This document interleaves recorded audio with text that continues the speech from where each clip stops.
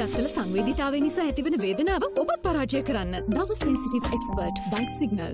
රක්ෂිත බන්ධනාකාර ගතකර සිටින රාජ්‍ය ඖෂධ නීතිගත සංස්ථාවේ හිටපු සභාපති රූමි මොහමඩ් මහතාට ඇප ලබා ගැනීම සඳහා කරුණු දැක්වීමට අවසර ලබා දෙන ලෙසට ඔහුගේ නීතිඥයින් මෝසමක් ගොනු කළ අතර අධිකරණය විසින් අද දිනේදී මෝසම කැඳවනු ලැබුවේ නැහැ. ඒ අනුව ඔහුගේ නීතිඥයින් විසින් මෝසම ඉවත් කර ගනු ලැබූ බව අද දෙරන අධිකරණ වාර්තාකරු සඳහන් කළා. මේ අතර සුදුවෑන් මාධ්‍ය හමුවට අදාළ නඩුවේදී ඇපමත මුද හැර නාරාහෙන් පිට ලංකා පෞද්ගලිකරෝ හලේ මෙවන විට සාමාන්‍ය වාට්ටුවක ප්‍රතිකාර ලබමින් සිටින හිටපු අමාත්‍ය රාජිත සේනාරත්න මහතාගේ සුවදුක් විමසා බැලීමට අදත් දේශපාලනඥයින් කිහිප දෙනෙකු රෝහලට පැමිණියා.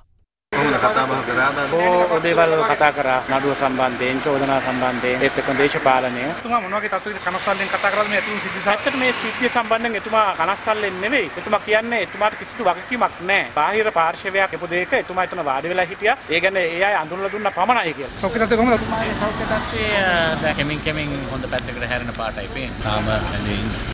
මේ අතර රාජිත සේනාරත්න මහතාට ඇප හිමිවීම සම්බන්ධයෙන් මැති ඇමතිවරු කිහිප දෙනෙක් අද මාධ්‍ය වෙත අදහස් පළ කළා. රාජ්‍ය සෙනරත් ඇමතුමා බලේ ඉන්න කාලෙත් ගැහුවේ පච. ඩොලර් බිලියන 18ක් ගැන කතා කරුවා. ලැම්බෝගිනි ගැන කතා කරුවා. රත්තරන් අස්පියෝ ගැන කතා කරුවා. ඉතින් අවසානයේ අද එතුමා විපක්ෂයට ගිහිල්ලා ඇප අරගෙන ඇවිල්ලා කියන්නේ පච. එදා අපෝ හිරේ දානකොට ඇමතිවරු කතා කරලා බිවාර්තා හැදුවනේ. මම තුන් පාරක් දැම්මනේ. අපේ ආච්චිවත් ගෙනිච්චනේ. අපේ මල්ලිවත් රිමාන්ඩ් කරානේ. බාප්පලවත් රිමාන්ඩ් කරානේ. ජොන්සන් ෆර්නෑන්ඩෝ ඇමතුමා, මහින්දානන්ද ඇමතුමා, විමල් වීරවංශ, උදේගම්මප්පිල මේ හැමෝම රිමාන්ඩ් කරානේ. අද එහෙම බලපෑමක් නැහැ. ඉතින් වැරදි කරලා තියෙන අයට heart attack හැදුනේ ඇයි කියන එකත් ඉතින් එතකොට මේ රටේ ජනතාව තේරුම් ගනි. මොකද හොඳට හිටපු මිනිස්සයා එකපාරට පපු අමාරුවක් කියලා ICU එකට ගිහිල්ලා අපගත්තම දෙපැයෙන් ඇවිදලා යන්න විදියක් නැහැනේ. රාජිත සේනාරත්නට අප ලැබුණේ ආණ්ඩුවේ ඩීල් එකකට කියලා චෝදනාවක් තියෙනවා. නෑ මේක තාම තේරුම් ගන්න ඕනේ අපි නෙමෙයි ආණ්ඩුව ගෙනියන්නේ. බහුතරය නෑ. මේ පොලිස් කොමිෂම ස්වාධීනයි කිව්වට ඔහුට ඒව පත් කරපු අය තමයි ওই හිරගෙවල් වල යන්නේ. ඒ වගේම අධිකරණය ගැන අපිට ගැටලුවක් නෑ විශ්වාසයක් තියෙනවා. නමුත් පොලිසිය ඉදිරිපත් කරන බී වාර්තා අනුව තමයි උන් කටයුතු කරන්නේ. ඉතින් මේ සිල්ලර දේවල් වලට අතට උන්ට ගත්ත අපේ උමනාවට ගත්තේ නෑ. මේ දෙන්නගේම රාජිතගේ පාටලිගේ ලොකු හොරකම් තියෙනවා. මේ රටට බාල බෙහෙත්. බාල